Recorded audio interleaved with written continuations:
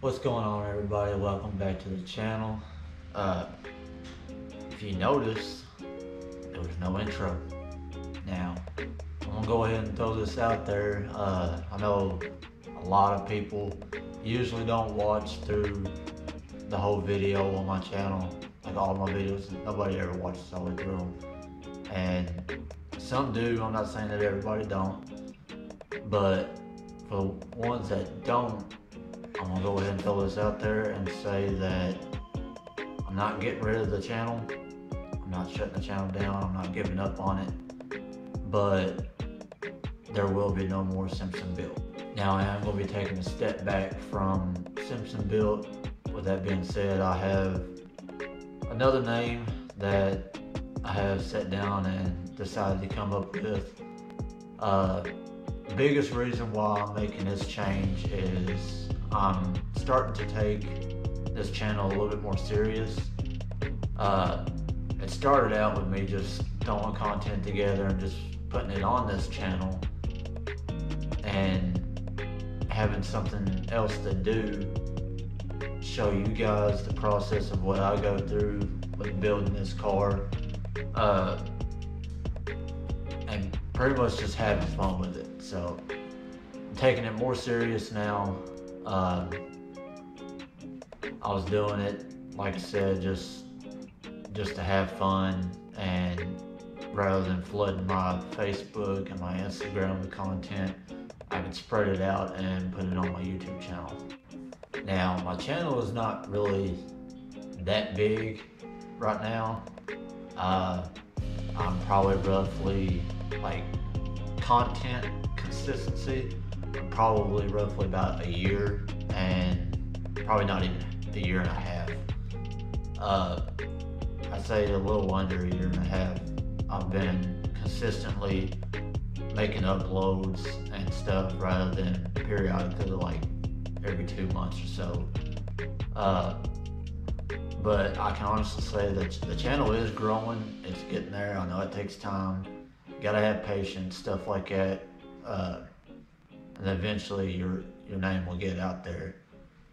But I've sat back and the name that I have thought about for probably two weeks now, and I think I'm gonna stick with it. I'm gonna fall through with it, and I'll give you the runaround on why I've made this decision and why I have come up with his name.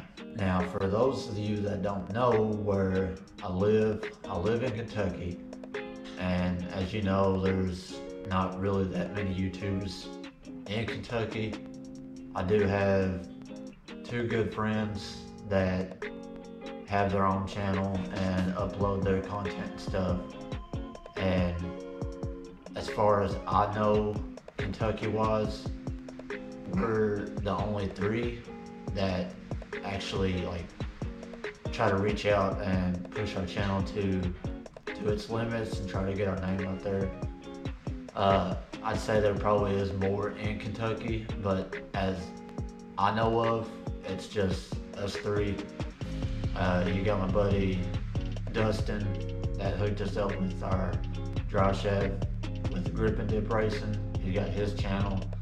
And then my buddy Dallas, he lives in the Louisville area and he's got his channel as well and it's called Took Off. They are both awesome dudes, really good friends, and they're very dedicated to their builds. And with me being as dedicated to mine as I am, I think that I need to take his YouTube channel a little bit more serious rather than just something for fun. Uh, still not in it for the money. I mean, the money would be nice, but I'm not. I'm not really making this channel to just go for the money. Uh, if it comes, then it comes. That's that's how I see it. Uh, and I would be thankful if it does, and be able to do this for a living, and have a less hour job spend time with my family and stuff, and have more time messing around with this rather than working my 5 p.m. to 5 a.m. work shift working in a factory. So I want to take this a little bit more serious and uh, see if I can't push out my, my YouTube channel a little bit further and put more heart into it. So here it is. So the name that I have decided to come up with for my YouTube channel, I'm sure there will be people that'll judge on it.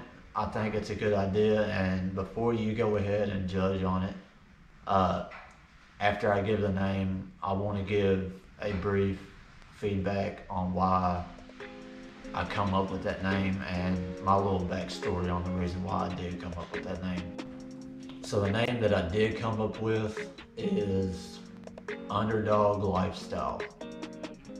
Now it's completely spelled out. It's underdog all one word and lifestyle all one word as well. So two separate words, underdog lifestyle. Uh, I've already worked on an intro. I'm working on some uh, designs and stuff for for the channel. Uh, working on some really really dope stickers. Working on all that. Uh, I'm probably to push out a lot more merch, shirt wise, hat wise, beanies, stuff like that. Uh, stuff that you all really want to see. And uh, I think with this name, I have a lot more ideas that I come up with, a bigger variety of designs and everything. So here's the reason why I decided I decided to uh, go with underdog lifestyle. So all my life I've been this small guy, especially in the car community that, that nobody really ever knows. I mean you say Chris Simpson in any other state, and I guarantee you probably never really heard of me. Uh, now, with that being said, I decided to go with that name because I consider myself as an underdog. Now, if you look up the definition of an underdog, you'll know exactly what I'm talking about. Uh, another example is in the car community, as much heart, time, and money I put into this car, you still don't get recognized by all the bigger people in the car community, whether it's the stance community, the racing community, uh, just car show community, it doesn't matter, drifting, whatever you can think of, autocross, everything. There's always going to be underdogs. And you know you're an underdog whenever you're doing what I'm doing and you're not getting recognized. You are, but you're not. And the reason why I say you're not is you got these higher up people that have a really, really good bank account, like an amount, I guess you could say.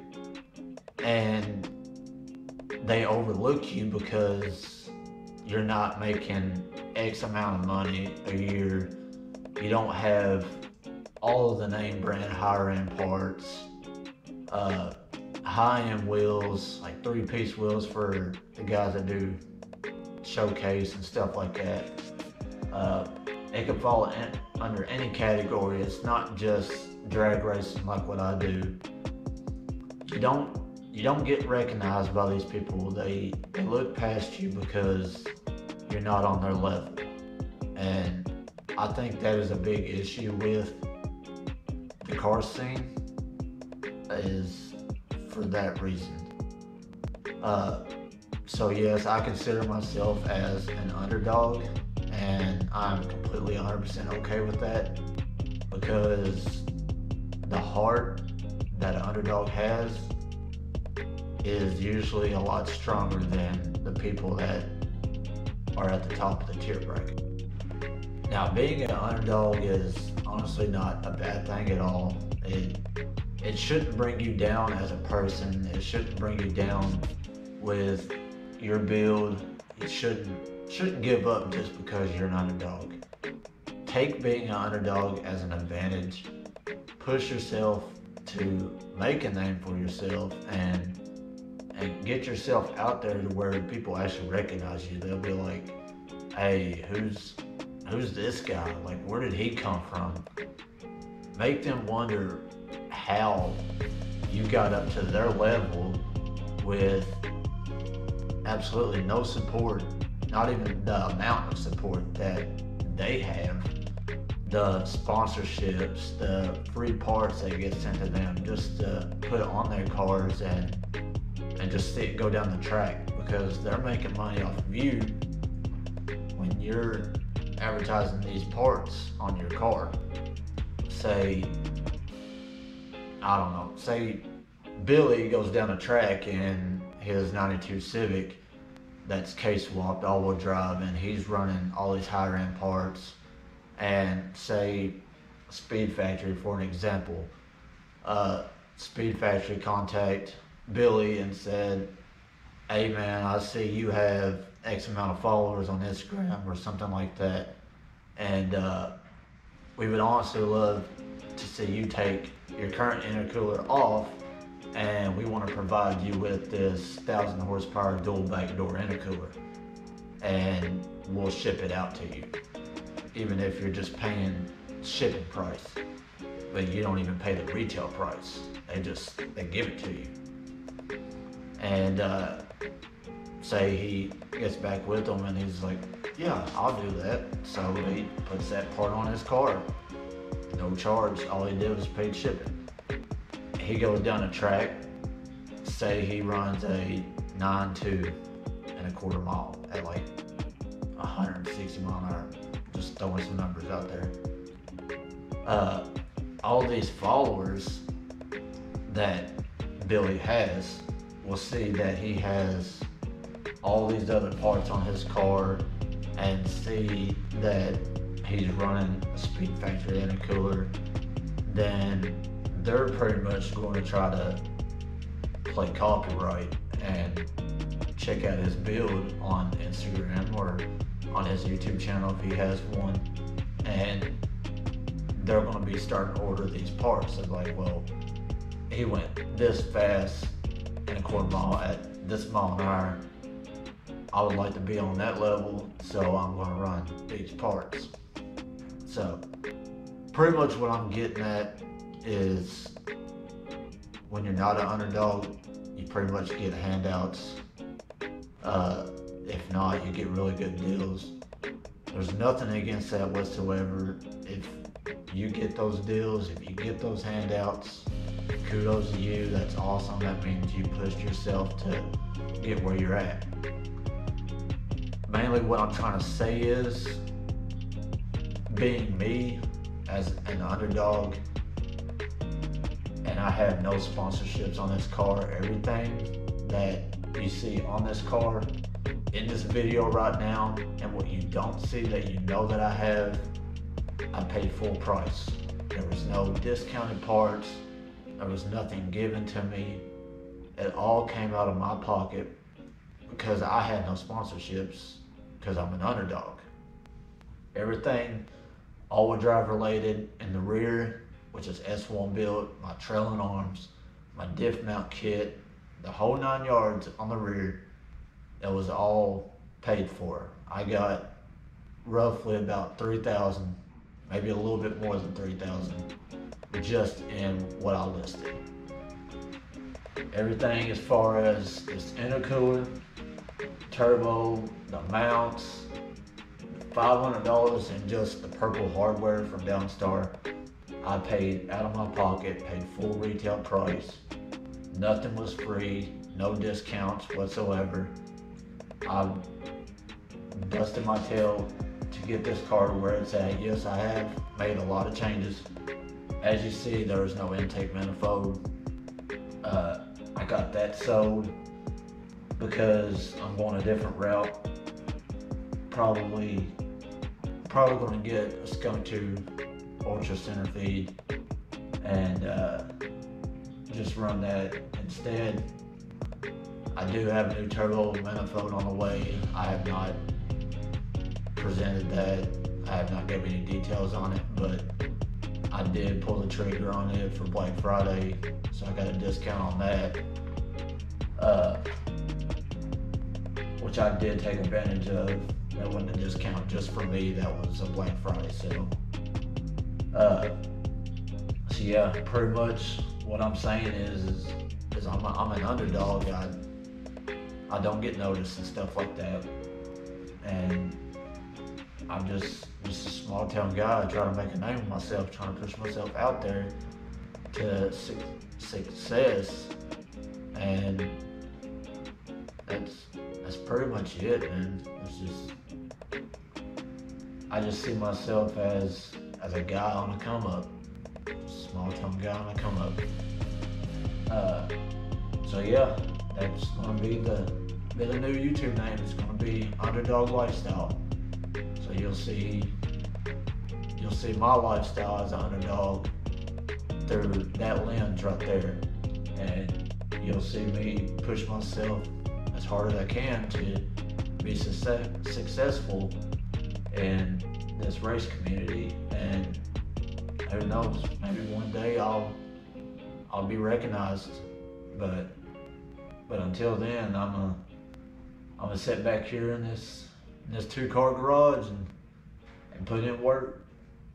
Try to get this car to where I want and meet the goals that I have set. Once I have met those goals, then I'll make new ones and push it even further. It's it's a never ending process. So I really appreciate those that that understand uh, this YouTube name change and hopefully you get somewhat of an idea of the reason why I have made this change and the reason why I've chose the name that I have chose. And uh, and if I lose some followers over it and some support, I understand. I'm not upset whatsoever. And if I gain some, that's amazing. Because I know, like I said, there is a lot of underdogs out there that, that feel like they don't get noticed when they've tried as hard as they could and don't feel like they're getting anywhere. So maybe I can I can reach out to other people that give ourselves that underdog label and uh, maybe I can show them not to give up and keep pushing through. So I'm not going to sit here and talk all night. I just wanted to get this off my chest and go ahead and let y'all know what the big surprise is. So my last video, I said that I had a surprise, and this is it. So I already got a got a couple ideas on designs, and I just got to get some shirts made stuff like that. I'm gonna be taking it slow. I'm not just gonna go too crazy off the bat because I don't want to make a large amount and just be sitting on them because like I said the YouTube channel is still small and uh, I already got my intro made up it may change a couple times like a couple small tweaks here and there but as of right now I do have an idea made up for one and I have started on it and it's it's looking pretty promising right now so I'll probably end up be using it so uh, I'd like to welcome you guys to the underdog lifestyle. So thank you to those that actually sat through and watched this whole video and actually got the full details on everything. If you do not care, please just give this video a like. That would help me out a lot. And uh, if you're new to the channel, thank you for joining in. Be sure to hit that subscribe button and hit the notification bell and hit the like button as well if you are new and we'll see you on the next video for uh, Underdog Lifestyle. I'm out. Peace.